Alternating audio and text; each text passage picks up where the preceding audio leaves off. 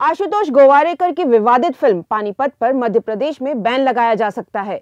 MP के जनसंपर्क मंत्री पीसी शर्मा का कहना है कि उनकी सरकार जाट समाज की भावनाओं का सम्मान करती है और पानीपत फ़िल्म पर जल्द कानूनी सलाह लेकर कोई बड़ा एक्शन लेगी। पानीपत फ़िल्म की कहानी दर्शकों को खूब पसंद आ रही है। अर्जुन कपूर और कीर्ति सेनन स्टारर फ़िल्म की कहानी ऐतिहासिक घटना पर आधारित है। इसीलिए रिलीज़ होते ही फ़िल्म के साथ विवाद भी जुड़ गया है। फ़िल्म में महाराजा सूरजमल को मराठा पेशवा सदाशिव राव से संवाद के दौरान इमाद को दिल्ली का वज़ीर बनाने व आगरा का किला उन्हें सौंपे जाने की मांग करते दिखाया गया है। इसी पर पेशवा सदाशिव राव अपनी आपत्ति जताते हैं। सूरजमल भी अहमद शाह अब्दाली के खिलाफ युद्ध में मराठाओं का साथ देने से इनकार कर देता है। जाट समाज फ़िल्म के डायरेक्टर आशुतोष गोवारेकर पर सूरजमल के गलत चित्रण का आरोप लगाते हुए फ़िल्म का विरोध कर रहा है।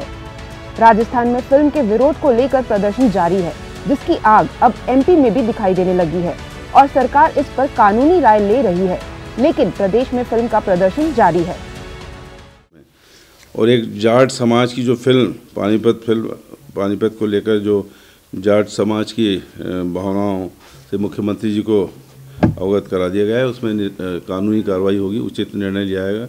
हम लोग इस मामले में जाट समाज ने जो अपनी बात रखी है उसका समर्थन करते हैं। सर बैन लगाएँगे? अब जो भी कानूनी कार्रवाई होगी मुख्यमंत्री जी के संज्ञान में वो होगा। गौरतलब है कि राजस्थान में पानीपत को लेकर बहुत बड़ा प्रदर्शन हुआ जिसमें कई सिनेमा घरों को तोड़ भी दिया गया।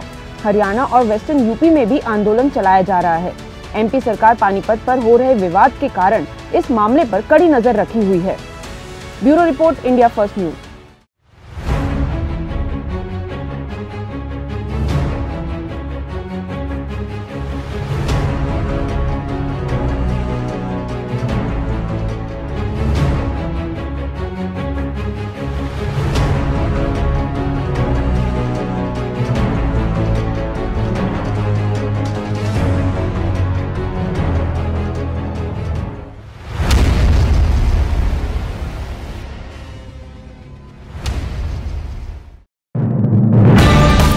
खबरों में बने रहने के लिए बेल आइकन दबाइए।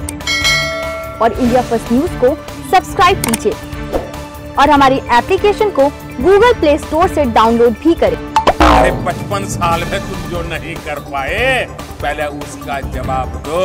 हिंदुस्तान के प्रधानमंत्री पाँच मिनट भी अपने पब्लिक रिलेशंस को अपने पीआर को छोड़ नहीं सकते।